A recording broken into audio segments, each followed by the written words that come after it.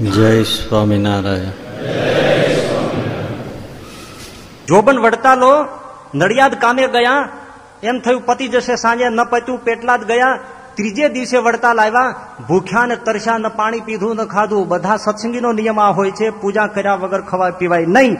અને જોબન વડતાલો એક વખત ડાકુ એ પૂજામાં બેઠો છે. ત્રીજે દિવસે પોતાની માઢ મેળી ઉપર આંખમાં આંસુ ત્રણ દિવસનો ભૂખ્યો તરસ્યો. પ્રભુની શાંતિથી પૂજા કરે છે. એ જ વખતે પાછળ ભગવાન સ્વામિનારાયણ પ્રગટ થયા અને જોબન પગી ઉપર હાથ મૂક્યા. જોબન, અમે તારા ઉપર રાજી થયા છે.